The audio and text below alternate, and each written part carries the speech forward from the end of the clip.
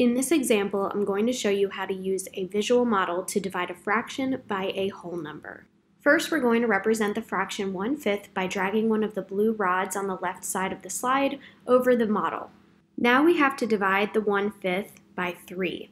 To do this, we're going to drag two lines from the bottom of the slide up and over the model to create three individual rows. You may need to adjust the lines after you've placed them to try to make them look as equally split as possible. Now that you've split the 1 fifth into three equal rows, we're going to look at one piece of that fifth that was split. This is going to represent the quotient of the division problem. To indicate the answer, we're going to drag the yellow box on the right side of the slide over one of those sections of the 1 fifth that you split.